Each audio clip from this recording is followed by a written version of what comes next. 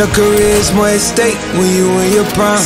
Fuck that paper, baby, my face on the dotted line. I've been flying out of town for some peace of mind. It's like always, they just want a peace of mind. Been focused on the future, never on right now. What I'm sipping, I kombucha, either pink or brown. I'm the one that introduced you to me right now.